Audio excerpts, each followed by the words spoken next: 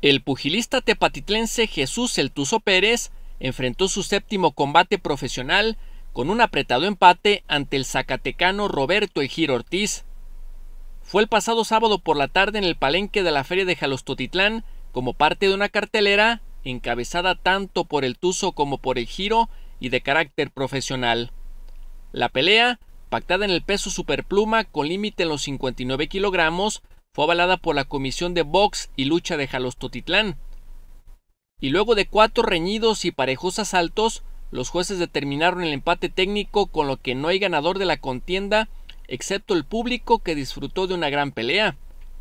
Aunque este combate no fue por algún cinturón o título de por medio, forma parte del escalafón para ambos peleadores que buscan aspirar a un cetro de carácter nacional. De esta forma, el originario de Pegueros suma un récord de cuatro ganadas, una de ellas por la vía del cloroformo, dos derrotas y un empate en su etapa profesional. Ahora el Tuzo tendrá un breve descanso para atender asuntos personales y a partir de octubre analizará si habrá revancha ante el Giro o llegará un nuevo rival, sin embargo, seguirá entrenando buscando ser el orgullo de los altos. Para CNT Deportes, informó Salvador Gutiérrez.